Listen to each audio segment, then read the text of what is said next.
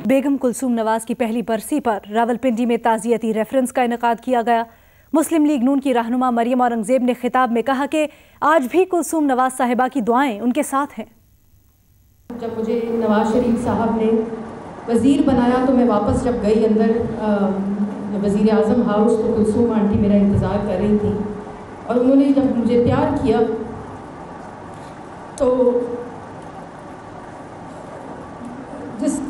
से किया वो मैं भूल नहीं सकती। और आज भी मुझे ये लगता है कि मेरे सर पे उनका हाथ है और हम सब के साथ बेगम कुलसूम नवाज़ शरीफ साहिबा की दुआएँ हैं। जब उनको जदोजहद करनी पड़ी तो वो एक जरूरतमंदाना और नडर लीडर बनकर, वो कभी उनका सियासत में इस तरह का, वो वो नवाज़ शरीफ साहब के पीछे ज़रूर थी, लेकिन उन्होंने कभी इस तरह आगे आकर जदोजहद नहीं लड़ी, लेकिन जब लड़ी तो वो मादर जमहूरियत बनी। और जहाँ जहाँ उनका कदम पड़ा, उस जदोजहद में वहाँ आज तक पाकिस्तान मुस्लिम लीग नून ज़िंदा है।